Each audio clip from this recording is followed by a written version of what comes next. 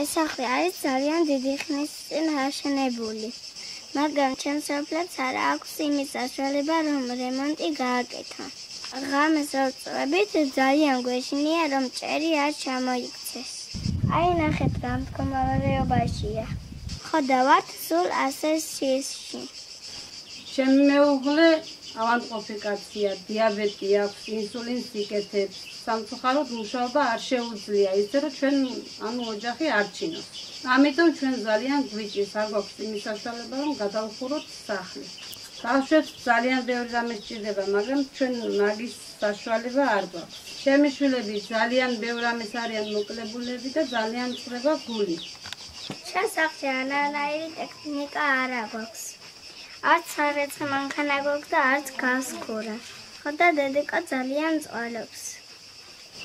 ჩვენ სექტემბერში სკოლაში მივდივართ და არც ჩანთა, არც სტანსაცმელი და ფეხსაცმელები არა გვაქვს. მე წნევა ლამაზ კაბაზერშვენიეზე ყვავილებიანზე და პეპლებიანზე. აი ესეც რომ ფრიალებს.